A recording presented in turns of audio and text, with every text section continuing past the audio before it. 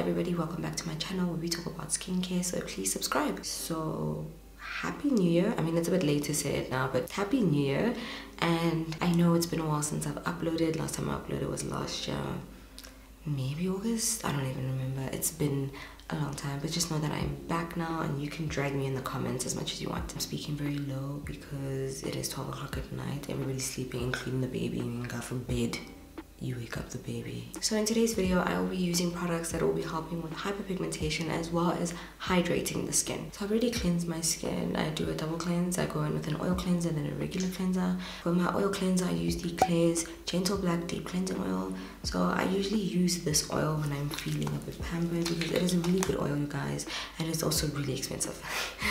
cleansing balms and cleansing oils are a must for me because whether it is winter or summer or I'm wearing makeup or not, I wear a lot of sunscreen during the day and an oil cleanser or a balm cleanser is really going to bring that down and that is what this oil cleanser does. One thing I really like about this cleanser is that it has a light smooth texture that doesn't leave my skin feeling taut or dry and I really do take my time massaging the oil into my skin. I focus like on my cheeks and my temple and my forehead because that's where I break out a lot. With oil cleansers you need to add water which will then make the oil cleanser emulsify which will turn into a milky white consistency. So this cleansing oil contains black bean oil which helps with sebum control and it also has black sesame which is an antioxidant and has black currant seed oil which is rich in vitamins and minerals. So on to my second cleanser. I'm currently using the It's Skin Have a Green Grape cleansing foam. I don't really know much about this cleanser. I just really started using it. It's not mine, it's my sister's. I ran out of a cleanser and I just started using hers. I don't really know much about it. I will tell you what the internet says about this product. This is a cleansing foam that leaves your skin refreshed and hydrated with natural ingredients such as green grape extract,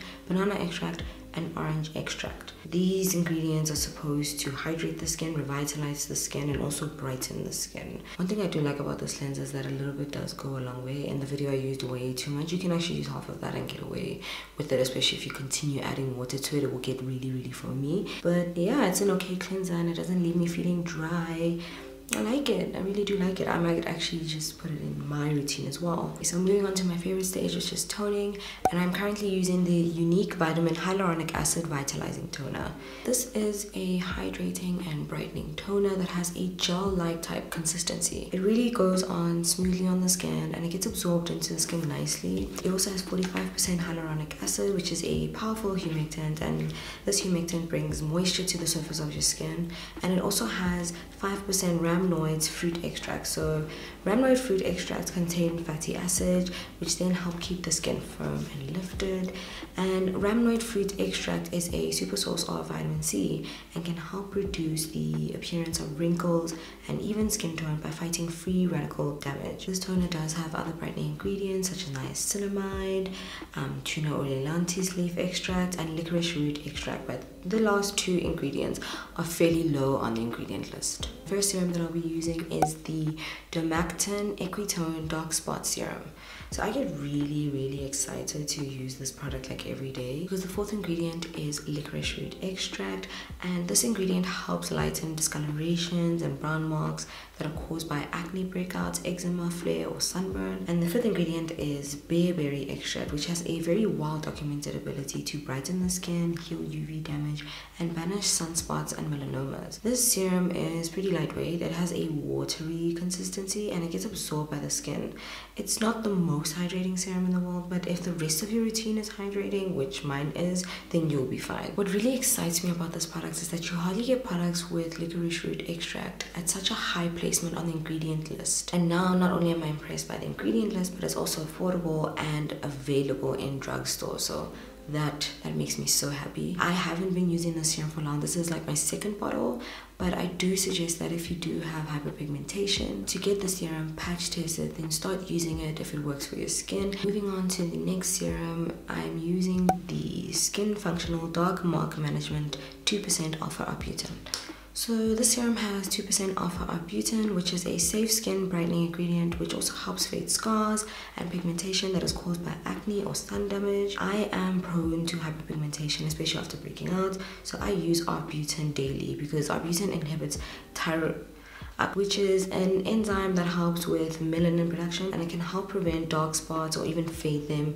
leading to even a more even complexion. One thing I like about this serum is that the ingredient list is gentle so it can be used every day. Now for the final and last serum, I'll be using the Isntree Spot Saver Mugwort Ampoule. This is one of my favorite serums. Like it's even, it's almost finished even, but I will not be repurchasing it because I cannot maintain it. It's just not feasible financially. This serum has 85% mugwort extract, which is an anti-inflammatory, which helps calm and soothe the skin and heal breakouts.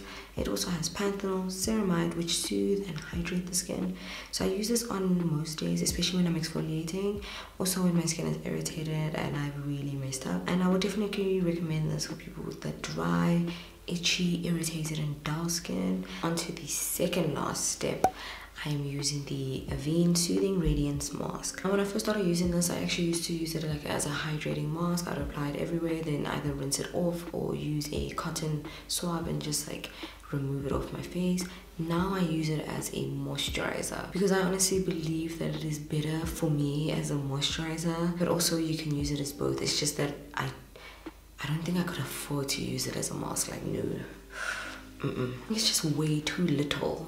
Use this as a mask. Like, it's literally 50 mils. No, that's not enough. Especially with the directions. The directions are like apply. Literally, they like apply like generously and it's not gonna last. This moisturizer slash mask is one of the best products I've included in my routine. It has like a really rich and creamy consistency and has an intense calming and comforting effect on my skin. Like sometimes on my nose, on my T-zone, I get really irritated and I just apply this and I just feel calming all the way. Also, this mask has a nourishing and hydrating ingredients like sunflower oil and it also um, strengthens the skin barrier. It has red fruit extract, which is a skin cell booster, and pre I'll put the word on the screen, which is a powerful antioxidant and helps protect the skin against free radicals. Now for my last step, I use an occlusive. I started doing this step after Makeup for Women of Color and Cave of Beauty made it very popular to use an occlusive on your skin at night. And this is done to avoid transepidermal water loss, also known as TEWL. And TEWL is the loss of water that passes from the inside of the body through the epidermis to the outside of the body or the surrounding atmosphere. In order to avoid TEWL, what you do is that you apply cream, but even if you do apply cream, you can still um, experience TEWL. So in order to make sure that you really do trap in all that moisture in your skin, you can use an occlusive. When I wake up in the morning, my skin feels hydrated, it feels soft, it feels plump, and does not feel dry, and that is the point. Whether it is summer or winter, I still use an occlusive. So for my occlusive, I'm currently using the Epi-Max Ultra Ointment. I don't usually use this. I usually use Vaseline. Vaseline is one of the most affordable occlusives. You can also use the Eucerin Aquaphor, but honestly, Vaseline is the most affordable one. I just don't know where my Vaseline is. I can't find it. So I'm currently using this. This belongs to my niece. Does the job just like the Eucerin Aquaphor just like Vaseline. It doesn't have to be expensive as long as it, it traps in that moisture and that hydration. Okay, my skincare routine is done. It is one o'clock. It is time for bed now. I am so tired. As always, thank you guys so much for watching. Don't forget to like, subscribe, and hit that notification button.